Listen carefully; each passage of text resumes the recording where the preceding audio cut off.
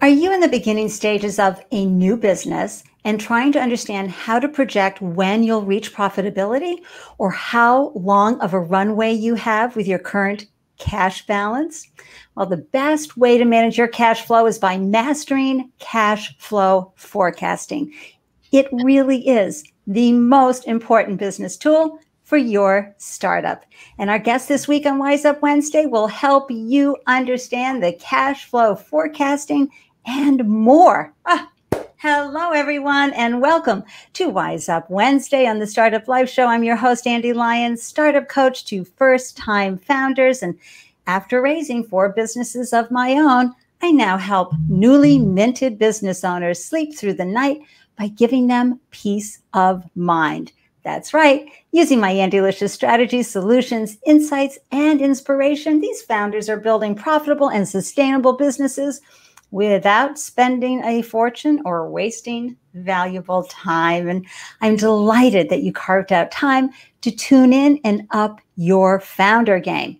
We are streaming live right now on LinkedIn, Facebook, Periscope, YouTube, and Twitch, thanks to the oh so delicious StreamYard platform. And those of you tuning in live, please use this opportunity to expand your network. I mean, I don't know about you, but we don't have any networking events around here in Boston. So, online events like this is a great way to connect with folks, share your URLs for LinkedIn, and you know, follow each other on social media. You never know where your next collaboration will come from. Your questions and comments are important, so please pop them into the comment threads during our conversation and we'll do our best to answer them live. And hey, if you know someone who might benefit from our conversation today about cash flow forecasting, tag them, have them come join us. We'd love to see them. I am so excited to share today's guest with you. Let me just pull up a little something something here for you. So, while I read his background. Never one for suits and ties or long days in windowless offices, Brad Ebenhoeh abandoned the world of corporate accounting to found Accountfully, a modern outsourced accounting firm that serves modern brands and businesses. And by challenging the traditional accounting firm model, embracing technology, and emphasizing the importance of a work life balance for himself and his entire team, Brad has proven that with a little imagination and a lot of hard work, accounting can be as cool as the clients he partners with. I just love that something fierce. So let's bring Brad in and find out more about him and Accountfully, shall we? Let's give him a hearty applause and a wonderful welcome. Hey, Ande. Thanks for the uh, great welcome. I am so happy to have you here.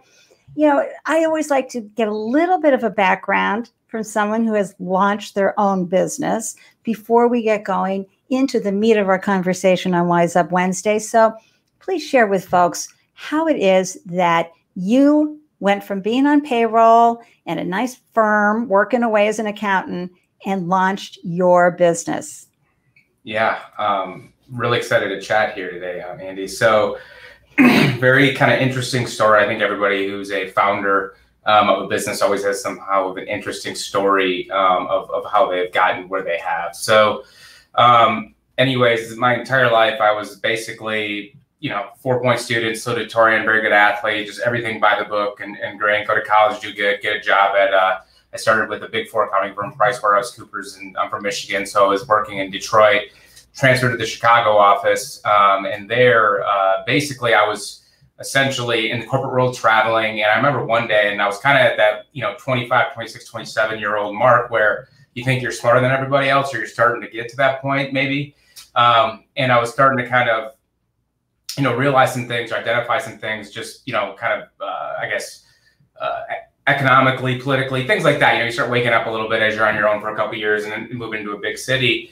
And I remember like one day just looking at and thinking about, um, you know, my one of the partners at the uh, CPA firm or the accounting firm I was at, and I was like, he seems very successful, but I feel like I'm smarter than him for some reason, right? So like I can do this myself. And it was like an epiphany that mm-hmm. came up that was like, all right, well, let's do it. And and now is a better time than ever to do it. So long story short, um, moved from Chicago down south to Charlotte, and now I live, we live in Charleston, South Carolina. I Started Accountfully with my now wife um, Meredith, who's my business partner at the time, girlfriend. But we moved down here, and essentially we identified that there was a hole in the market for it was right when cloud-based systems were coming to market, software as a service applications, right? QuickBooks Online, Bill.com, and we could help and, and, and support clients in a more uh, virtual um, um, online forum.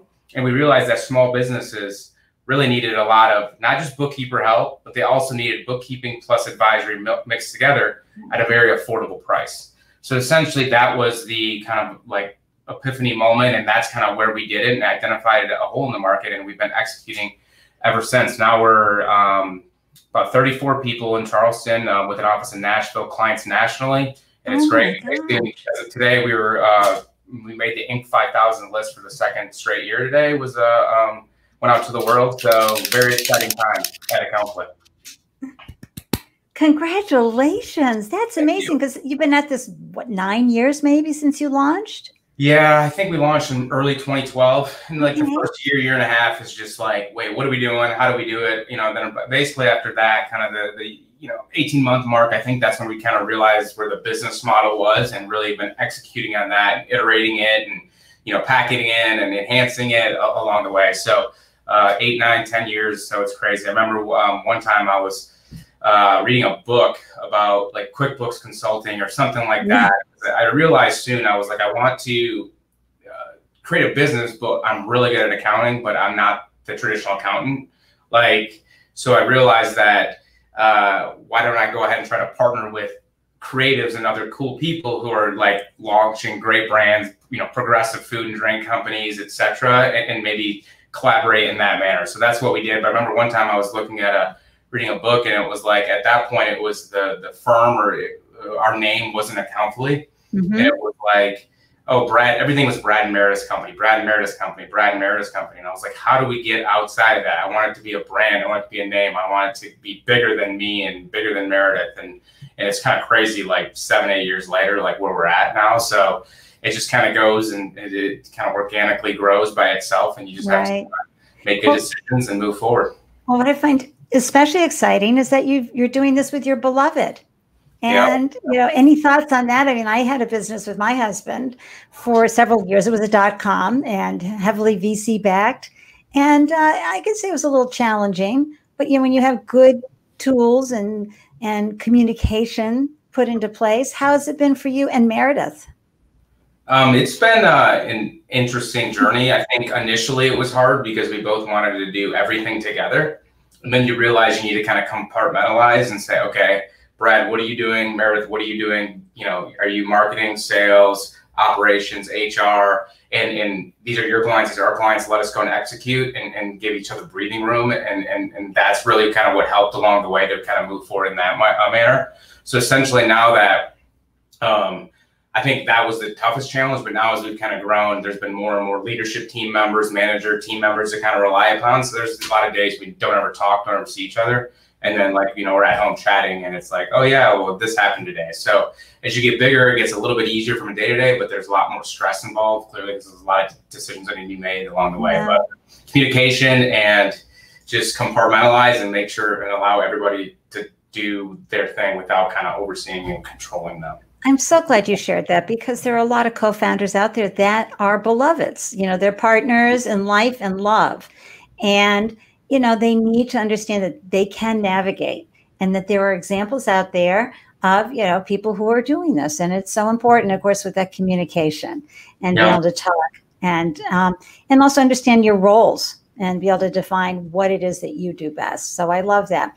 But you know, you I love it too that you launched your business and you were focusing on what the cool kids were doing, the innovators, and people are on the edge, so that you could participate without having to do it yourself yeah. and um, learn from them and be exposed while serving their bottom line.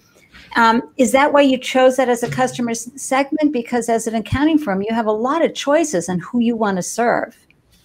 Yeah, well, we initially when we started when we launched our business, we were like, with all the and we were just chatting before this, Ande, about the four hour work week, right? And like I read that like during our kind of first year and a half when we are trying to figure out what to do, and we were consulting the first year and a half, right? Well, the problem with consulting is it's project based. You have to keep selling what's going on next month, and then during um, when I was reading that book, it was like light bulbs to me, like you know what? Every business needs bookkeeping literally every business, whether you're the owner itself is doing it, whether you have a bookkeeper doing it, whether you have hired employee, you have to keep your books, you have to process payroll, you have to pay bills, you know, things like that, ready for taxes. So I was like, oh, light bulb, we need to become bookkeepers. So how do you become bookkeepers, right? And, and get that recurring revenue. So like it was kind of a, you know, I learned that or we learned that.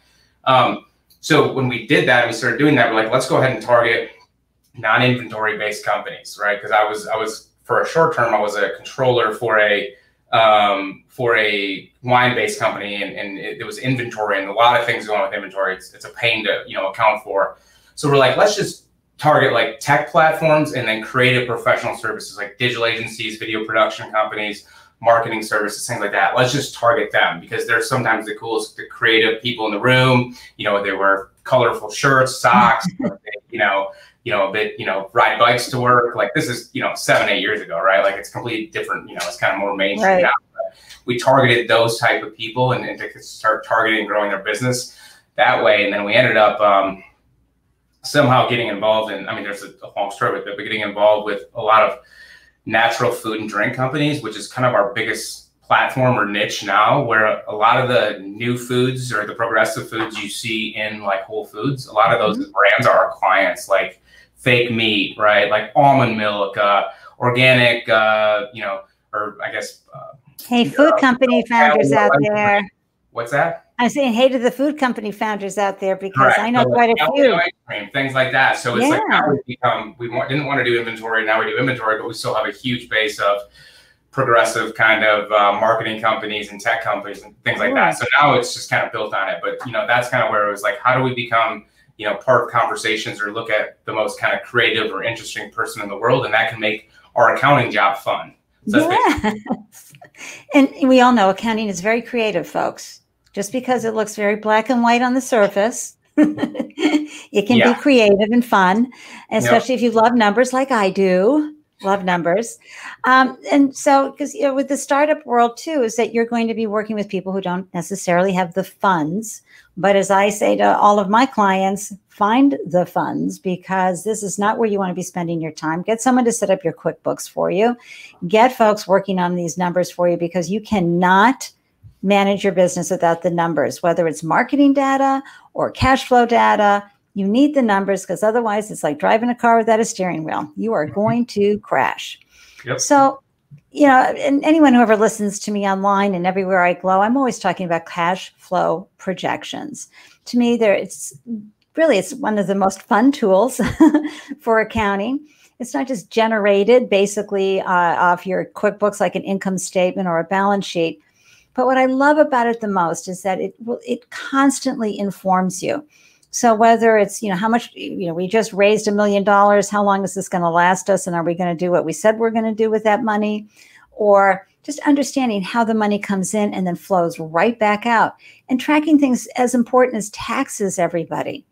Just always put money aside for taxes. This is what, you know, the cash flow balance, the cash flow statement can help you do. So what I'd like to first do is pop up what a cash flow projection looks like, everybody. I'm going to do a quick screen share because I want you to get the name of it. Okay, let me just answer a quick question from Marielle.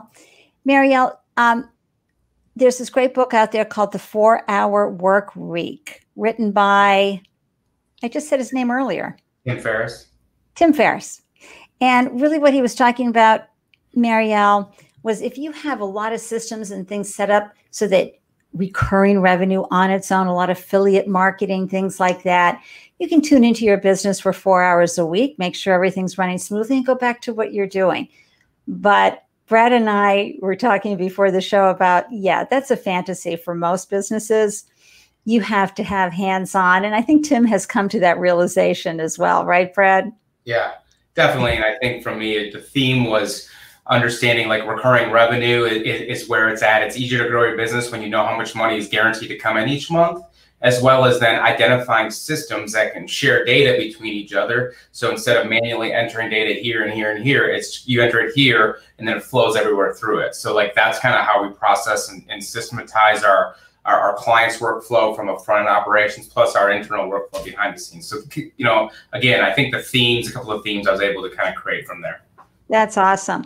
Um, I'm just going to do a quick share screen because, you know, that would have been nice if I'd done that ahead of time. Hang in there, everybody.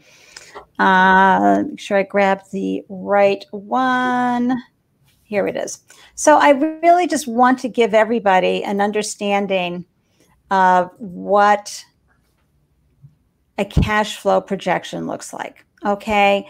And just so you know that you've seen it now, because I know many of you watching this are like cash flow, what projection, huh? You know, you know your income statement, you probably know your P and L, um, and and some of the other, some of you in the food industry will understand your cost of goods sold, but this is a document that's very very helpful for folks. And I'm just going to sort of scroll it down here because you can put in your different types of cash sales, what's coming in, and you can break this down into all different uh, item numbers of what you're bringing in. But now you know what's coming in that month and then what's going out. Really understanding and digging deep into what's it costing you to market, what's it costing you in any kind of interest or office expense or purchases. And you get to fill this puppy out and you can have it ripple through the whole year so you know what you're spending during the year. And now you know what you're spending out and you can see when things are minus. So you know. And down here, what's important is when can you pay yourself? Because no one's going to do your business for for free. Neither should you. How soon are you going to be able to pay yourself? If you have any repayments that you need to do, more than anything, this helps uh, when you're raising money. You're investors will feel so much more confident that you know what's in this document. So that's just me as uh, the overview of cash flow forecasting. Brad, please chat with folks a little about why you know that this is such an important tool for founders to use. Definitely, definitely. So, um, you know, cash is king at the end of the day, right? What from a kind of reporting and internal decision making standpoint on a month over month basis and looking kind of backwards, we, we kind of want to focus on accrual based reporting, which matches revenues and expenses. But before I get into that or we discuss that on the road, I want to like I think from what Ande shared, the biggest thing is if you have money in the bank, understanding where it's going to go, when it's going to go out, what's going to come in, and, and projecting it out. That was a very simple spreadsheet that then allows you to put every line in item that, that can do that, right? This is good for startups or somebody that's just doing it themselves to map it out on a spreadsheet because you don't need anybody else to do it, right? And then you can kind of adhere to it, you know, going forward and, and look at it going backwards on a month over month basis. A couple things are number one, you need to understand where you're at, correct? So by that I mean if you don't know what you're spending each month looking backwards and you're not focusing on that, then how do you know what you're going to be spending each month going forward? So it also is key to ensure that you have your books updated or something going on where you're managing and understanding that. But also then going forward, um, how are you going to um, you know manage this and make sure you have all the inflows and outflows as well as ensuring that you have any money saved for taxes along the way as well. So right. it just makes your life easier. I think it like, makes you sleep better at night because you kind of have an idea where you're going. And a lot of the stuff is, uh, you know, a lot of people don't like talking about finances and cash because they're like, I wasn't good at accounting and things like that. But it's one of those things that once you get over mentally from the block of not wanting to do it, you feel kind of the anxiety goes down. It's like, okay, I have 100 grand in my bank account. If I do this, this, and this, where is this going to go? How long can I last? And what do I need to do to get from a you know, a sale or revenue aspect of five grand a month to 15 grand a month or whatever your goals are. That's right. And you can track different items of your products or services to see how well they're doing. And of course, right. you have your marketing strategy, and that's a different tracking sheet. But you're going to, you need to know how much money that you're going to invest in your business to leverage these sales items. But one of the reasons I also like it is, well, what if I'm able to sell this much and then get this money in and you know do all, it's the what if and the experiments. I'd also like to throw out there, I hear this a lot, Brad, and I just know it isn't true. I hear it from women. I'm just not good with numbers. That's no, that is not true. I know that you walk into a store and they say they're having a 25% off sale. You know exactly what that outfit's going to cost you. You're yeah. good with numbers. You're at the store, you see, you know, the, there's a sale there. You know, numbers are your friend, right, Brad? Yep. Definitely, definitely. Again, like this isn't uh, you know calculus. This is basically putting a couple numbers in a spreadsheet and having these formulas already created. So if you're not good at adding or subtracting, leveraging these tools to help you out, right? And again, hundred dollars, twenty five dollars percent off, that's seventy five dollars. Like there's things like that that kind of you know comes as second nature. And the other thing I'll say about doing like a cash flow forecast. And understanding your cash flow, doing your books, like you know some people come to us and they're like, well, hey, I do it this way and it works for me because I see the numbers this way. And and they're at a good position for that. And, and maybe that's good for you right? So what i'm what i like what I recommend to people that are kind of especially starting out and don't have a huge budget for support or advice but figure out a system that works for you and leverage it and, and if you're not good at numbers but you look you're more visual is there something that you can do that can help you more visually versus just in a spreadsheet there's a ton of tools that exist out there for that right and then leverage that and then when you're doing it make sure you're not you know make sure you're leveraging it and, and referencing it on a very periodic basis, right? So, you know, one of those things, it's just like in college, I got to do a paper, I do a project, you put off the last minute and it takes forever. But what if you just every Friday for an hour or 10 minutes or 20 minutes update this spreadsheet of where you're at for the month or your books for the month, right? And periodically review because when you do that, you get basically you know, however long it takes to become a habit and actually like form every week, right. you get in place and then you're able to run your business much better and much more efficiently. And again, it takes one thing off your brain because you know where you're at kind of as, as a second nature versus just running blind. Right. And you know, you've heard this before, founders. There's working on your business and there's working in your business. And when you're working on your business, it's when you're taking time to step out and see your business out from this observer's point of view. And that's why the numbers are so helpful to look out and say, okay, this is giving me this information. What do I need to do? Or mm-hmm. you can drive your numbers by taking certain action steps to get your numbers to a different place. So if you know that you're spending way too much money on an overhead item, you can say, okay, that's got to come on hold until we have more cash in the business. And you know, to get back to the the numbers are our friends founders, I'm giving you permission, step into this. You are a smart, intelligent person. You are a problem solver. That's why you're a founder. Do the numbers, put them into your life. Hire Accountfully if you don't want to deal with them pesky figures getting getting into the spreadsheets. Let them do that for you so that you can then have the information in front of you and make the best decisions for your business and then get back to working in your business. And Marielle has a question. Any tool or website to access these tools that Brad would suggest? You mean for uh, more visual or? What's that? I'm asking uh, Marielle, you mean for more visual or? Because there, you know, there's the accounting platforms that you can get, um, whether online, if you're doing your QuickBooks online. What other suggestions do you have, Brad?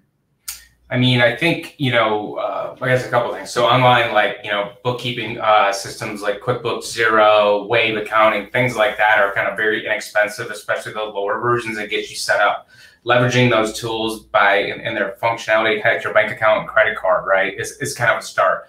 But a lot of these spreadsheets, if you if you look at like if you follow people like Ande or other influencers that are like business coaches, every one of them has like, hey, here's a template spreadsheet to start with. You know, you can go into Excel and search templates, go to Google Sheets. That's search. where I got the one I showed you guys, just a quick Correct. and dirty. You know, they're all in, they're available. And again, then you can see one that like makes more sense to you or not, as well as like a lot of the, you know, uh, we're in Charleston, there's a, a SBC or small business um, development, uh, you know, nonprofits. Mm-hmm. A lot of them are free coaching for small businesses. You can go and access it. They have these tools. They have retired people that are there consulting for free. You go talk to them. They're like, hey, try this out. There's again, it's never been easy to. It's never been easier to find templates and information from your desktop, you know, your computer, Google, etc. Um, and they're all out there. It's you know, and, and leveraging people like Ande or a Accountfully or whoever to say, hey, I, am looking for this something. What do you recommend? And and and and you know they'll be able to provide for you. Right, and it's such a great question, Marielle, because what happens in the Excel spreadsheets that they'll it'll create a chart. So someone who might be visual will get that chart either stacked column chart or they'll get a pie, you know, with colors. Once the numbers are in, you can present them in, in many different ways. And as I'm always saying, there's a video for that. yep, exactly. YouTube is unbelievable with everything to happen. So, you know, it's, there's a lot of uh, things out there for you, you know. And uh, once again, I was a you know brand new company or my own and um, self like at some point and you're like I, I need some help and sometimes you're like trying to leverage everybody and pull as much information as possible. And sometimes it's like, let me just sit down for a minute, look at myself, try to create something that I can function and, and work with. I, everybody, you know, we all have templates, but then every time it kind of you custom to what you're good at, and then you're like, look, I can do this and do this, and then I can do this myself for the next year, not pay somebody to do it, and boom, there's an inflow. But I'm not wasting time because I'm creating an automated platform or a system that I can take 10 minutes to do each month or whatever it is along the way. So it's it's kind of like you know you have to kind of figure it out, but leverage as much templating systems, workflow, you know, uh, people you know that have done it before that, that you can. Yeah, and and also founders stop doing your business out of your checking account. You're a founder now. You have a business. Yep. Step up to the plate and take that checking account inf- information and download it into QuickBooks or one of the other forms, right, Brad? Yeah, one of the things that when we have a client that's kind of getting more professional or shows some growth and they're like, hey, I need some help, this is getting too big for me. A lot of them are still looking and managing their business every day at their bank account. They're looking at my bank balance is going up, my bank balance is going up.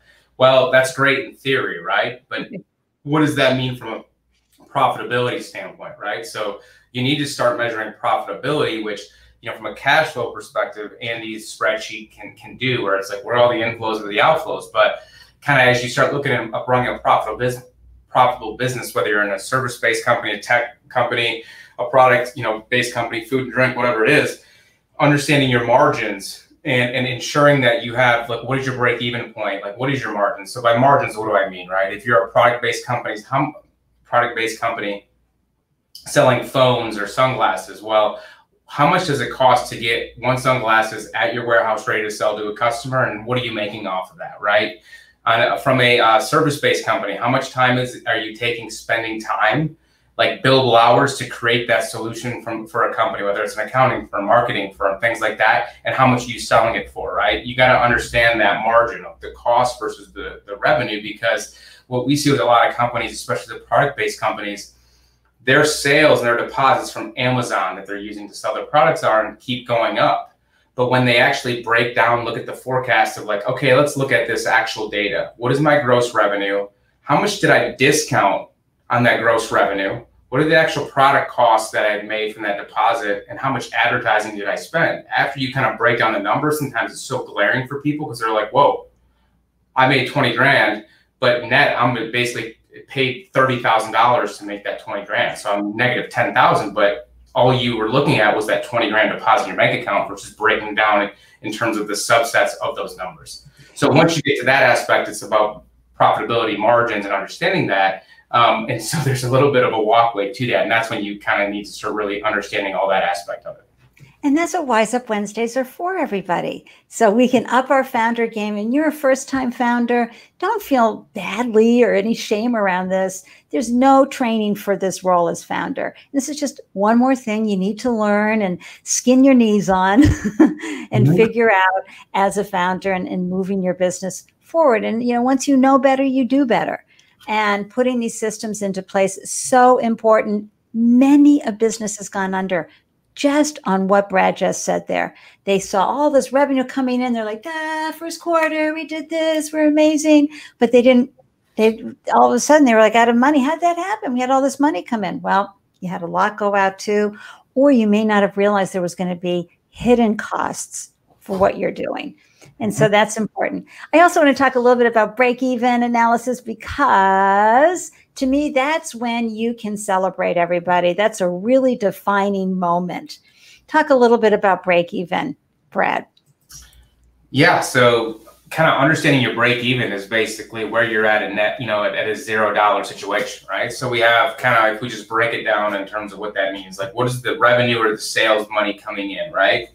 what are the variable costs associated with that sale? So the variable costs are if you're a product-based company, the actual products that you sold for that. If you're a you know a labor company or a service-based company, the labor. If you're a tech platform, the hosting and the variable costs related with those sales, right? And then once you're able to do that, then you look at the fixed expenses, the rent, the utilities, the the salary of administrators, you know, administrative payroll taxes, that type of stuff. And once you're able to kind of figure that out, you're able to kind of see where your break even point is. So if you're a, you know, if you let's just kind of do an example, you're you you you basically let's say your variable cost or your cost of your product is 40% of your actual sales number and then your break uh, your fixed costs are $50,000, right? So if we look at it, let's say you sell $100, 40% of that is for $40, right? Right. So basically, there's sixty dollars left over there to cover fixed expenses, and your fixed expenses, I said, was fifty dollars. So then, boom, you're at ten dollars left over in profit. So hundred dollars is above your break-even point, but you're able to kind of figure that out in, in that aspect. So understand your break-even point is kind of, you know, is what Ande says is when you're looking at a business, you're starting it, cash. How much cash do I have? How do I get to where I want to go? But then also, when is going to be that point when I'm going to actually going to be tipping the lever a little bit and be like, wow, I feel like there's some, you know, situation here, you know, and, and, and, and seeing that this is a profitable enterprise or can be along the way and understanding that. The one thing I will say is, you know, Ande said it when we were talking about, you know, reporting and things like that, is that the the hidden cost, right? So just be clear of what those costs are. What what is your income tax burden possibly going to be, right? When you're a service-based company, a Schedule C, like your self-employment taxes can be really big, and you may not be planning for it, and so you should be planning for it, right? Um, you know, but also like if you have employees and you don't have proper payroll systems in place, are you paying the taxes in? Because once you start getting behind on these things and you get that mm-hmm. debt, like all do with credit card debt, then all of a sudden it piles up. It's hard to get out of. Just don't take those cash flow loans from Kabbage or PayPal or Amex or Shopify that exist these days because you can press a button, it comes in, but then you owe money, and a lot of those are like 20% interest. So you got to just be under clear of kind of where money comes from these days and when what you have to pay back and how it comes into play because there's times, you know, we've had one of our clients years ago and came to us and basically they're like, oh yeah, I never um, uh, filed my income taxes. And we're like, why? They're like, we never made any money. And I'm like, okay, well, that doesn't make any sense. What do you, uh, didn't, didn't you live personally and things like that? We're like, yeah, we, you know, we, we paid for our mortgage and things like that. And I'm like, so basically you had a net zero because you paid for all your business expenses and personal. Well, then you're going to have a huge tax burden because personal expenses aren't deducted. That's so it's right. like those things that it took them five, six years to get out of because they just weren't properly aligned with somebody and, and, and, and chatted with somebody about, hey, do I have to file taxes? You know, it, it, some people, it's just, it depends on your situation. So just stay ahead of that game. Otherwise, this other situation we're talking about is really hard to get out of. Yeah. And I put it right into the cash flow projection. I put it on, you know, into whatever I'm doing for monthly is peeling off 15% just right off the top of what the revenue coming in, putting it aside for taxes, making the quarterly estimated payments. You know, again, this is why you hire Accountfully because if it's too much of a burden for you or you just shut down around this, get somebody who will help you be accountable around the money because you don't want your business to tank because of that can tank because there's no market. Who wants nobody wants to buy your product. It can tank for you know pandemic reasons but you do not want it to um, tank over the financials. You can do better and become more knowledgeable. One of my favorite books too brad is profit 1st mm-hmm. with by mike michalowicz because i like his um, mindset as well where you peel off even if it's a dollar profitability because at the end of the day, you really do want your business to serve you in financially wonderful ways. And if you get into that mindset and you're really understanding and tracking your money, you can pull that dollar off and or whatever percentage of revenue, put it into a separate account, use it to put it back into the business, invest in your business, or take you and your darling for a vacation, or get that car you wanted if you're doing really well. Yeah. Um, what are your thoughts on that?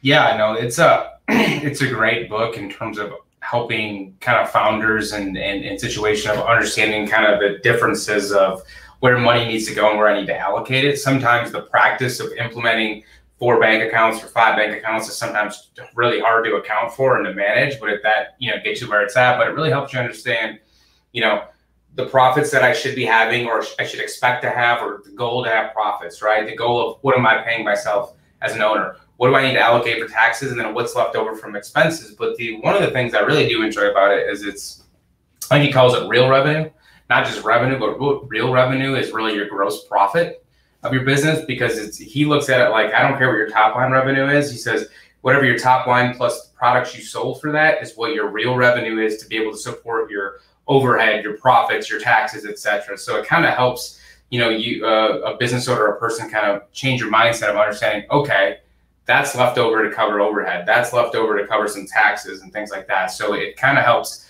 compartmentalize the financials and to make it kind of more, um, I think, simple and more approachable for a lot of founders versus looking at a spreadsheet and be like, I don't know what this means. Right. And I love that real revenue.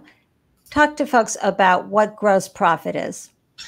Yeah, gross profit is kind of goes back to kind of what of what I've stated about like break even, right? Really, gross profit is essentially your revenues less your cost of goods sold. So your cost of goods sold are is that variable expenses, which is the variable spend you have to do to create or buy those products to sell, right? So again, if you're a food uh, product based business, you're selling something tangible like a phone or a soda or whatever. It's easy to understand. Hey, that costs three dollars to make. I'm selling five. I have two dollars left over. But when you're a, a, a service-based company, really understanding your billable hours, right? Your inventory that you're selling is billable hours, and understanding that.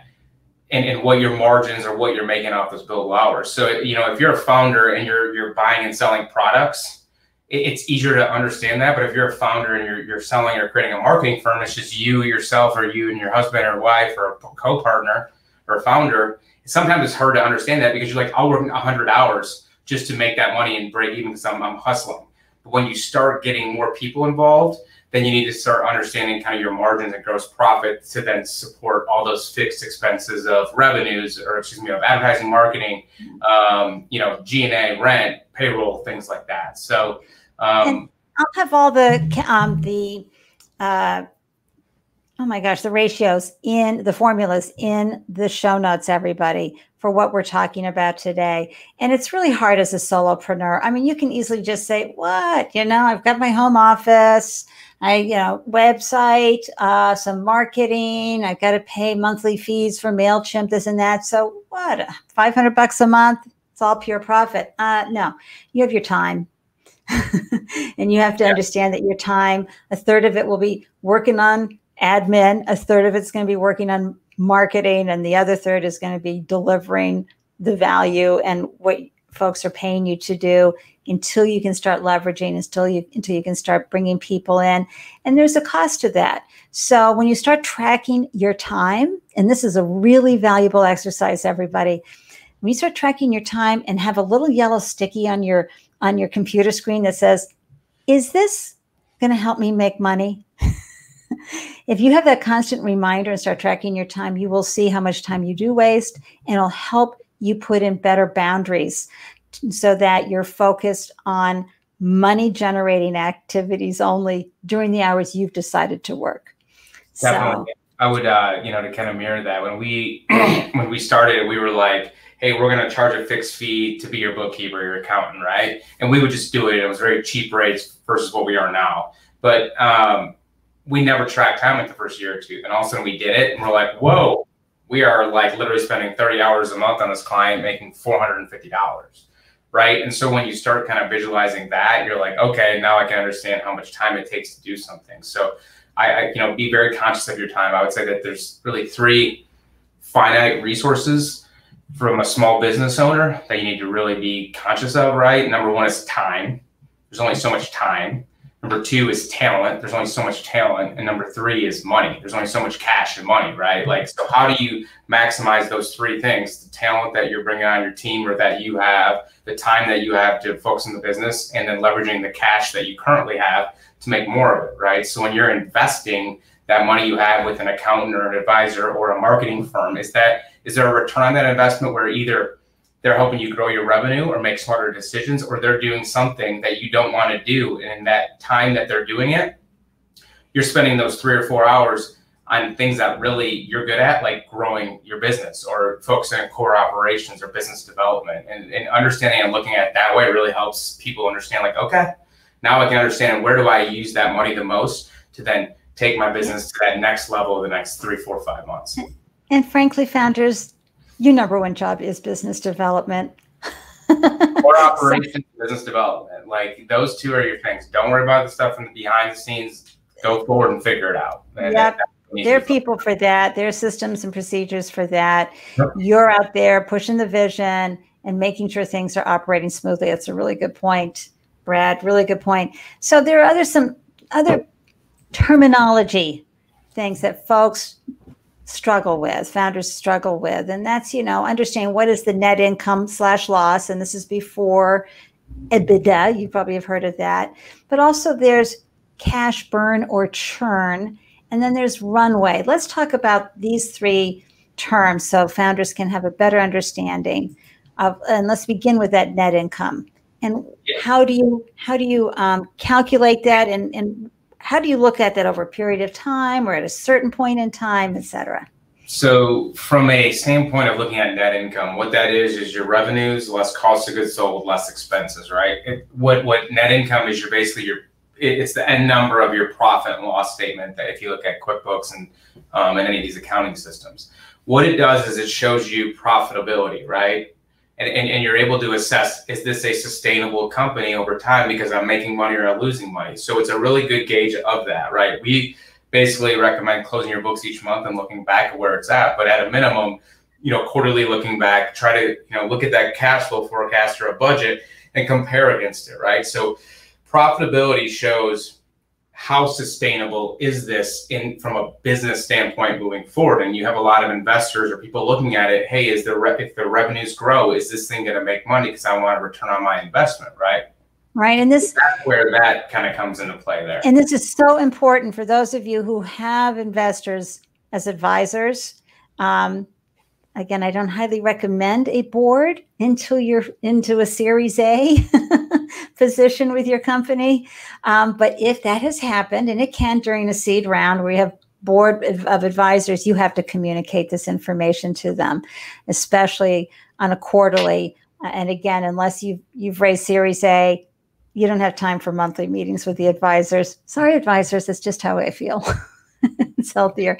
So let's talk about you know the monthly burn rate because we we've been talking about it. I just want to again up your knowledge as to you're going to hear people say, well, what's your churn rate? Yeah. What's the so churn rate? Burn, monthly burn is basically just focused on essentially what's the net cash difference from where you started to where you end the month, right? So it's basically the spreadsheet that Ande had. So not to get too complex, but you have basically in the financials, you have the profit and loss, which looks at revenues, expenses, cost of goods sold, and sees long-term profitability. And then you have the balance sheet that is cash, assets, and like liabilities, debt, and equity, right? So what the basically the kind of burn, monthly burn of cash inflow or outflow is net basically of what I made or what money I had at the start of the month and what money I had at the end of the month. And why I'm bringing this all up is because what Ande's spreadsheet was was great because it included both profit and loss items, expenses, revenues, COGS, as well as balance sheet items of taxes owed, of debt, of accounts payable, of accounts receivable, things like that that also factor into play here. So, for example, you could have the most profitable month ever um, for your business from the profit and loss statement, but you could have a huge negative cash flow month because let's say that you had a positive let's say you had one big sale during the month and like you know $200000 of revenue. Well let's say you invoiced your customer you had one customer and you invoiced them for 200000 but you didn't get paid that month okay? But you still had to pay payroll rent and everything else associated with it. Well your cash churn or your cash burn that month is going to be negative but then you have this $200000 that you should be receiving at some months right? So when you're looking at your business you have to under at the end of the day, cash is king, right? We have to focus on this cash burn each month and understanding basically where am I'm at today. And if I project out what is the number of months I have on hand of my business, depending upon where I'm forecasting revenue, sales, and other things. But also understanding on a month over month basis from a sustainability what my profit and loss is and, and how it compares month over month that comes along the way, which is why we again, when you kind of look at management accounting and understand your business, you have to look at accrual based financials and cash because it all nets out in terms it of sure how does. Yeah, and if you're working with a large corporate, a big box company, and you're not part of their supplier diversity pro- program, getting net 10 days terms is just not going to happen. You're yeah. going to go out at least 90 days. Um, yeah, maybe you're really good at negotiating and you can get them to help you out as a small business, which is wonderful, but you have to figure that out. And the other wonderful benefit of these types of tools and this type of understanding, folks, is the fact that you will see when you are too heavily invested into one customer. All of a sudden, you're going to see that one customer is providing all of the well, what if you lose that customer? What if something happened to them? What if they had to shut down because there's a pandemic? You need to always be looking at diversifying and uh, your portfolio, so to speak, of customers and and clients. What are your thoughts on that, Brad? Yeah, two things. Number one, on um, the diversification, that has really helped Accountfully kind of maintain and you know, be sustainable and getting back to hiring mode now um, after the last couple months of being flat because we have such a diverse um, portfolio of clients from an industry specific as well as across the nation, plus the percentage of total revenue, right? So, as what's been great about Accountfully is we've grown our business by helping other clients, and but we've also seen all of their pain points and some of the bad decisions they've made so it's made us better advisors of realizing we had some clients that were 70% of the revenue was one business and they allocated all their resources. They never, they gave benefit and preferential treatment on pricing and all this stuff. They really never made full margins. And then that one day the business is like, we're moving somewhere else. And then they had to get rid of, you know, 55, 60% of their team because they couldn't sustain anymore. So really understanding that, and clearly with the COVID situation, this has completely blown this out of proportion, not proportion, but really brought it to the front of the, you know, light here for everybody to understand the one thing I will say is we're talking about cash here, right? So if we think about cash, right, a lot of times we have to understand what is the cash cycle of when you're providing a product or service and when you're getting paid for it, right? So if you're buying, in, you know, you want that cash cycle basically to either be zero or as close to zero or negative. And by that I mean, if you're providing a service, do we really need to wait to the end of the month to invoice for that service, or can we invoice at the start of the month and try to get paid before we actually work on that because then we're ahead of the game from a cash perspective, right? If you're an hourly, uh, if you're working on a monthly fixed fee, it's easier to do that up front versus a you know an hourly situation where you have to add your numbers up and you bill them after the fact, and next you know it's like you're not getting paid till 45 days after you did the work. Similar on the product side, right? Like when you're buying an inventory product, how long are you bringing it in? How long is it in your in, in uh, warehouse? When did you pay for it? And then when is somebody going to pay you for it, right? So again, as Ande says, it, it depends upon who your customer is. Because a lot of times, if you're working for corporations or big box stores, you're not going to be able to dictate anything. You're just whatever they say. Hmm. but if you're a small business and you're helping other small businesses, what if you instead of go hourly, you bring your price point down a little bit?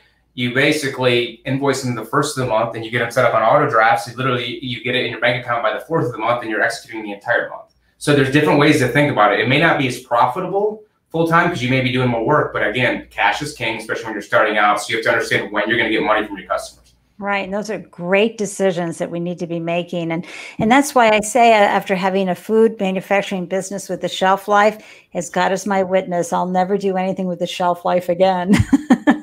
yes. you throw out a lot of things after they expire. That's what I'm talking about. Um, another thing I want to talk about too is for folks who are raising money. You know that slide on your pitch deck use of funds and you're going to have we're raising a million and we're going to be spending 250k on this uh, product development we're going to spend 250k on, on marketing we're going to hire some people the best way to wow investors is to have a backup slide to that that shows that you really understand what it means to get a million dollars into your business and how you're going to create the runway for that how are you're going to extend the runway. And that is sometimes the challenge of when you're raising money with venture capital because you don't have much of a runway, which is why it's even more important you understand how to use that money over that period of time. And just in case you have the question why you don't have much of a runway is because venture capital are looking for their money back as soon as possible. Angels have a little more flexibility on that. Mm-hmm. So let's let's talk about runway. And again, founders really nailed down when you are putting up the use of funds 250k for your mvp or, or product dev why is it mm-hmm. 250 go deep. Again bring in someone like brad and his team to help you create those numbers. But let's talk about runway brad. Yeah no i think it's definitely a great topic right? And and where it's always kind of that situation right? Like in terms of knowing where you're going to go you need to know where you came from right? So again having an idea of what your break-even point, what your monthly fixed fixed expenses are, what is your current debt on hand, what is your cash situation, understanding your gross margins of your of your uh, of your sales, etc. Right. So the best place to start before you do that is to know where you're at. and then you can kind of really understand okay this is where i'm at then once you understand where you're at which is key about having monthly financials and things like that then you're like okay i'm going to raise x number of dollars and this is how it's going to last and basically i'm going to use that money to a lot of you know the the focus of money right is that lasts as long as possible. And so a lot of that money that you get is going to need to be spent on you know marketing advertising increasing top line revenue as well as in core operations right? Like if you're a tech company or things like that it is based around like you know developing your product and hiring more developers and things like that right? They're not going to want you to you know spend that money on bigger rent or more expensive rent but it's how to increase and how to get to that next level of series how to raise that brand how to raise that valuation right. along the way so on top of the outflows of money it's very key of understanding all right, what are my basically kind of unit economics or uh, essentially marketing ROI, right? So having that pinned down of saying, all right, what is my cost to acquire a customer? What is my average lifetime value of a customer? What are they going to spend? Those types of things and those metrics. And that kind of comes more from a marketing function versus an uh, accounting finance function. But having all that together, then once you have those, then you can really create a cool little kind of forecast and have that mentality behind the brain and, and the and, and why you're going to go to right. where you're going. We've all seen Shark Tank and things like that. When you're basically like, I know where I'm at, and this is what I need, and this is where exactly it goes. It wows people. It's like, okay, good. That's one thing I don't need to worry about. Now, do I like the product, the market? That's a different conversation. But if you have that squared away, they're like, remember, they're giving you their money, so they're putting their trust in you. And then they're saying, all right, they have that aspect of the business handled. Great. Now they can focus on really the front end of the business and the product, the market fit, and all that type of stuff. And this is why I'm always saying, founders, when you start your business, you've got to have your team in place, the winning team. And the winning team is a good lawyer who's going to protect you, and a good accountant is going to ask you really good questions and help you with the money. And this is, you know, you can go, well, uh, you can you know, do the old barometer check if you want. Do yourself a favor, get that money in the door from investors by taking time out with Brad and his team or your favorite accountant bookkeeper. Now, someone with a little bit more accounting is really what you need because they're going to ask you those tough questions that you would not have thought or recalled. And it's going to just, you're going to look like a superstar with the investor money. Yeah, we were talking the other day when we were doing our tech check, and you told a really fun, important story. I mean, I howled, but it's just so true. And it's that sometimes when you're looking at the numbers, you just like you don't want to deal with the fact that you're losing money and you're bleeding it way up here you're going to turn to something that's maybe a 10 or 20 dollar item mm-hmm. can you mm-hmm. share that story and, and we were talking yeah. about that office expense story and yeah. then we'll wrap up so similar to myself right i wasn't a very sophisticated business person before i you know started this business right like you're dealing in corporate world like literally when you're in corporate world you don't learn small business you don't learn anything right you basically come in then you learn small business you're trying to focus on things in, in different situations and learning and so when a lot of our clients come to us and we're like reviewing financials each month with them or quarterly a lot of times when they're not that sophisticated or done it before, they come in and we're like, okay, here's your numbers. You lost this much money. Your revenue didn't grow. Your gross profit went up. We don't know how, you know, we have an inventory adjustment of $20,000 and we're saying all these things and talking about key metrics like you know gross margin, contribution margin, that type of stuff. And all of a sudden they're like going through, they're like, what's in that office supplies line? And we're like, it's three hundred dollars. Like that is immaterial to the overall aspect of the business. And it's like goes in, they're like, oh, that Dropbox shouldn't go there. That should go to a different item. And we're like, okay, noted, great. We'll work on that. We'll adjust it. But what is the big picture here? Like the big picture is not that the big picture is understanding financials, understanding your profitability, understanding your margins, understanding where you're going to go, your cash flow forecasts, how many months on hand you have, right? Again, we don't want to be, you know, uh, we want to be frugal. We don't want to overspend on things. But again, when you get to a point, you need to allocate a budget to it and just let it be and be like, $250, it's not going to do it. If that's going to help me run my business or whatever, great. But that's not going to change you selling, you know, your product more, your margins more, you know, and really taking your business to the next level until you get out of the weeds and focus up top creatively and things like that while knowing what's going on. don't spend on things you don't need to. I'm not saying that. I'm just saying when you're talking to an advisor, things like that, understand the big picture as well versus just these little things. Yeah, you don't want to get too caught up in the weeds. Oh my gosh. Anything that we didn't hit on that you want to specifically share before I wrap everything up?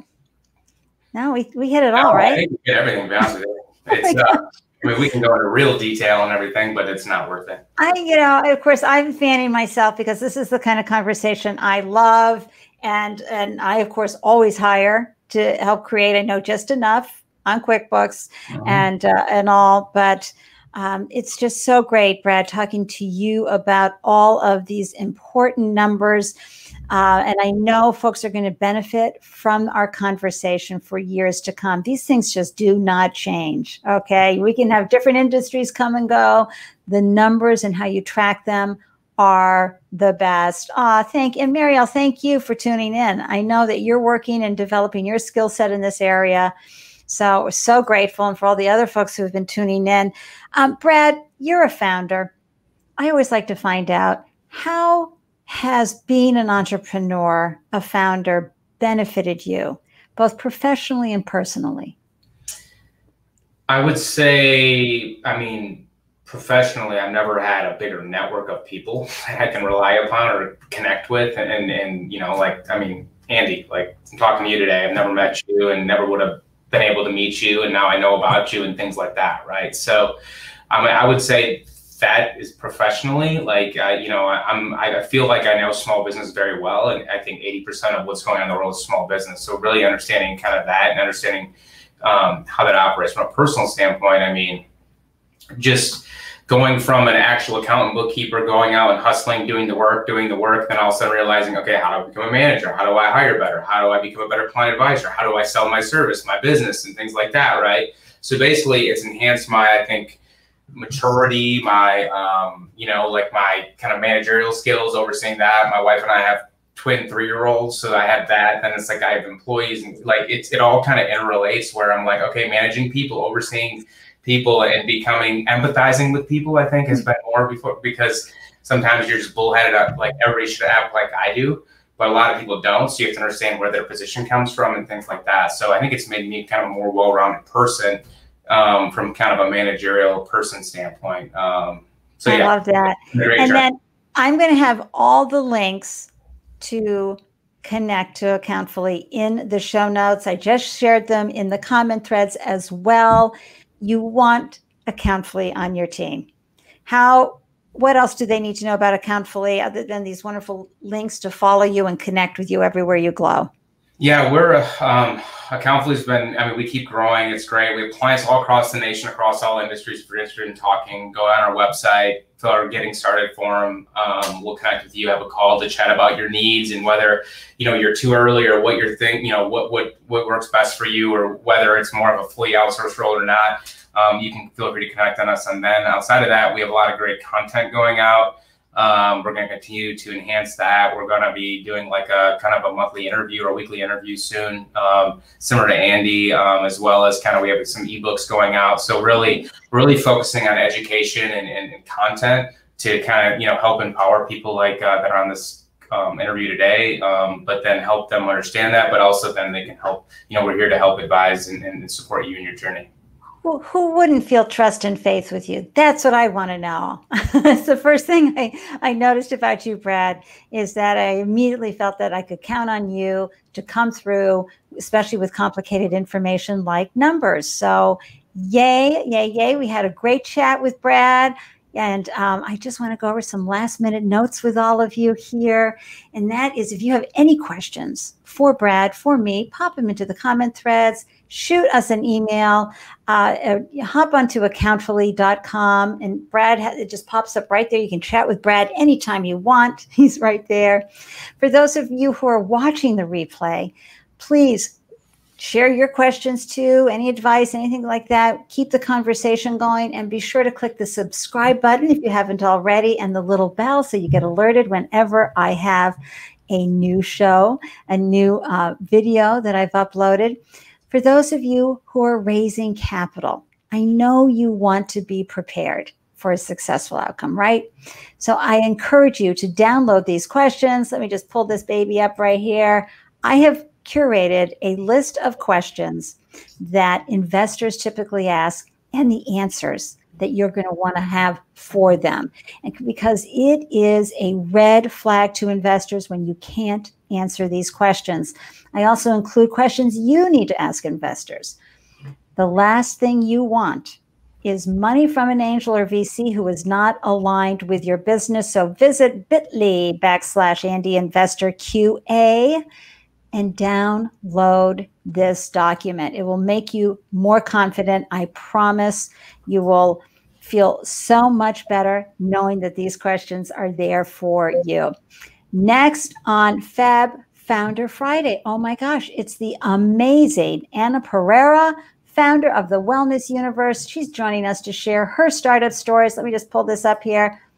There she is tips for building a successful online community. And I am telling you, this woman has done it. She can answer all your questions because it really can be like herding cats when you're trying to build a community online. Any of you who have tried to do it, you know. So I hope we see you on Friday, August 14th at 11 a.m to hear her best tips and strategies. She's going to be coming to us live from beautiful Portugal, where she spends half of her time there in and New Jersey.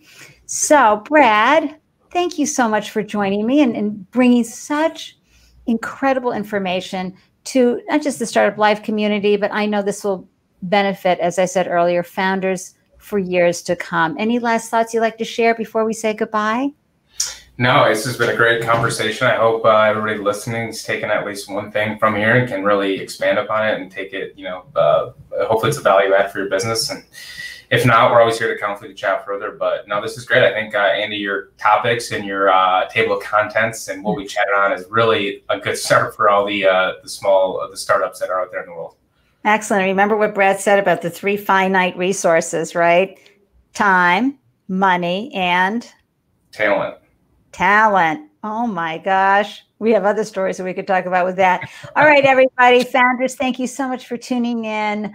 Stay strong, stay focused, and remember, you've got this. I believe in you. See you next time. Bye. Mwah.